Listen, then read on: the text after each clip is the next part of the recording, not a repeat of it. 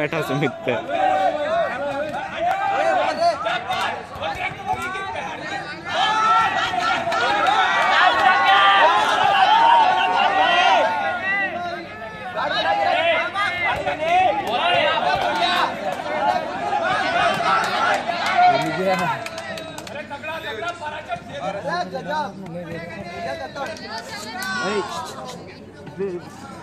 अपने बंदे।